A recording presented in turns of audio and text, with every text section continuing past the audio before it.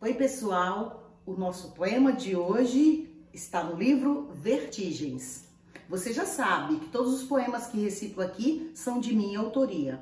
Portanto, compartilhe, curta, é, ajude nosso canal a crescer, tá bom? Muito obrigada desde já a todos aqueles que se inscreveram. Nós já passamos do número de 100. Muito obrigada mesmo. Vamos ao poema de hoje?